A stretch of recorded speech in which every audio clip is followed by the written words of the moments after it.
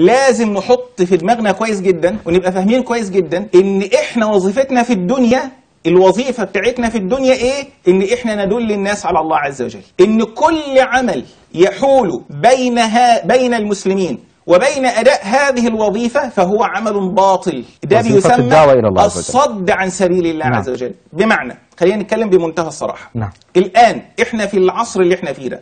لا، بس مش صراحة قوي يا دكتور لسه. طيب صراحة نص نص يعني نتكلم شوية صراحة نعم. طيب الآن وإحنا في العصر اللي إحنا فيه ده لما تجد آه، إن بعض الناس عنده حالة من الغضب نتيجة ما آه، يصاب به المسلمون من الظلم وكذا وكذا. آه، فيقوم آه، يعمل أفعال كنوع من التعبير عن الغضب للنبي صلى الله عليه وسلم مثلا. نعم. يعني النبي عليه الصلاة والسلام أسيء إليه والمسلمون يقع عليهم ظلم في بلدان كثيرة جدا حول العالم. فبعض الناس يقول والله طب إحنا إزاي ساكتين؟ إحنا لابد إن إحنا ندافع عن النبي لابد إن إحنا ندافع عن الإسلام لابد إن إحنا ناخد حق المسلمين لابد إن إحنا نعاقب هؤلاء الناس. فماذا يقع؟ يقع من هؤلاء المسلمين الغيورين على الدين واللي عندهم حمية للدين واللي عندهم غضب للدين واللي عندهم حب لله وحب للنبي عليه الصلاة والسلام لا نسيء الظن بهم ولكن بيبدأ يقع في تصرفات يكون نتاجها الصد عن سبيل الله عز وجل. نعم، نعم. فنقوم نقول له إيه؟ نقول له أنت أسأت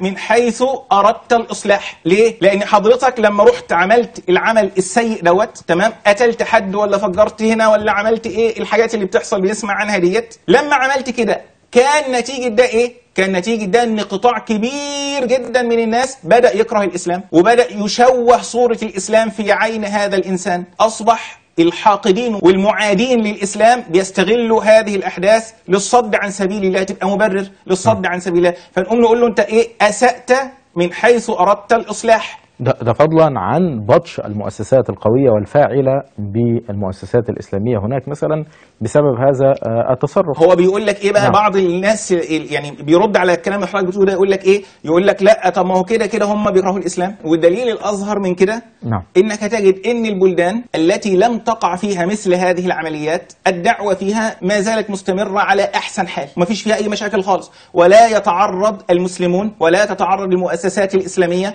ولا تتعرض الدعوة إلى الله عز وجل في هذه الدول التي لم يقع فيها هذه العمليات لا تتعرض لأي تضييق ولا لأي مساس ولا لأي إساءة أبدا. ولكن الدول التي يقع فيها مثل هذه التصرفات يعقب هذا كثير من التضييق على الدعوة ومنع الدعاء إن هم يمارسوا الدعوة إلى الله عز وجل إلى آخر ما تعرفه ويعرفه أكثر السادة المشاهدين. إنك لابد إنك تضع في اعتبارك أن الدعوة إلى الله عز وجل وأن إيصال هذه الدعوة إلى الناس هو أهم المهمات التي ينبغي تكون هي الأمر الأول الذي ينبغي ألا نتعداه ألا نصد عن سبيل الله عز وجل بتصرفاتنا. وضربت حضرتك مثال قبل كده حديث آه، ذي الخويصرة الذي دخل على النبي صلى الله عليه وآله وسلم وهو يقسم بعض الذهب على أصحابه جاءه شيء من الذهب فكان يقسمه فدخل عليه ذو الخويصرة رأس الخوارج فقال اعدل يا محمد.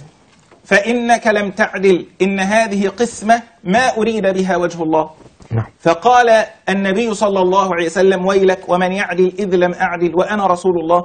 فقال عمر بن الخطاب رضي الله عنه دعني أضرب عنقه يا رسول الله إنه منافق. طيب ماذا فعل أو ماذا قال النبي صلى الله عليه وسلم؟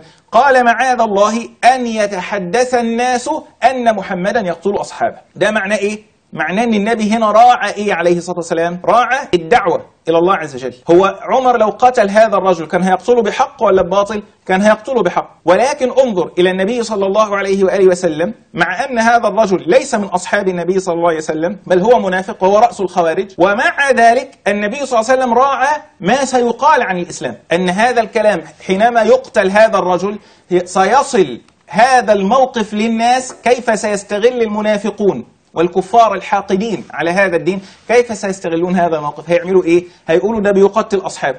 فيبقى لو في واحد في بلد ما أو في قرية ما آه، آه، حابب الإسلام وسمع عن النبي وسمع عن الإسلام ده حاجة كويسة وسمع عن القرآن ونفسه بتراوده إن هو ممكن يذهب ل آه، الإسلام مع النبي صلى الله عليه وسلم وبعدين يجي له واحد يقول له ده محمد بيقتل أصحابه يقول لك الحمد لله إن أنا ما رحتش كان زمان دلوقتي مقتول أنا كمان. اذا فهذا هذه الكلمة صحيح. ستكون صدا عن سبيل الله. صحيح. فالنبي صلى الله عليه وسلم راعى الدعوة إلى الله عز وجل وجعلها مقدمة على كل شيء عليه الصلاة والسلام. نعم.